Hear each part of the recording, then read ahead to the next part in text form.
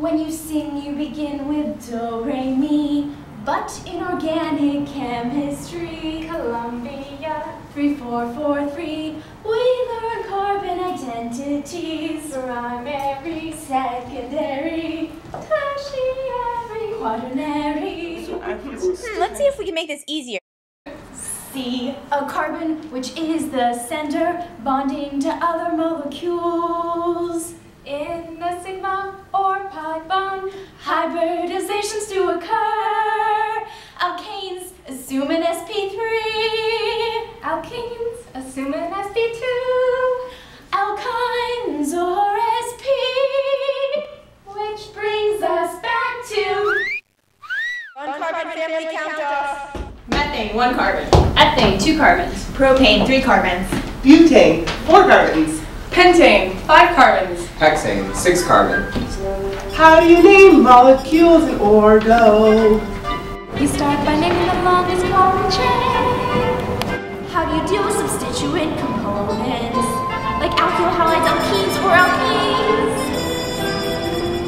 A number of substituent components. With the first one nearest the end of the chain. You alphabetize the name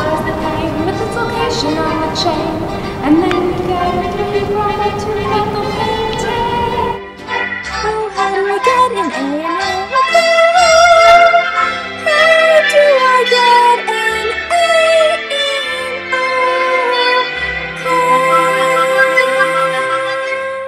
in? We could try studying.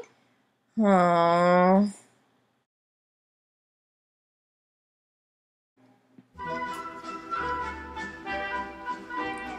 HX with ether adds hydrogen halides.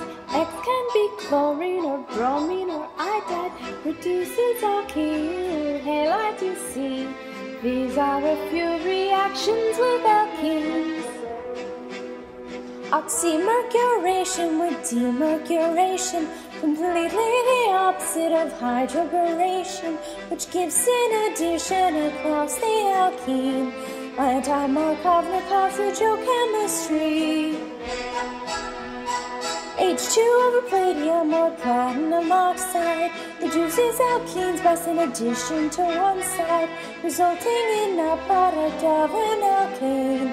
These are a few reactions with alkenes. Transforming alkenes with reactions isn't quite so bad. If you've gone to lecture when your test, your face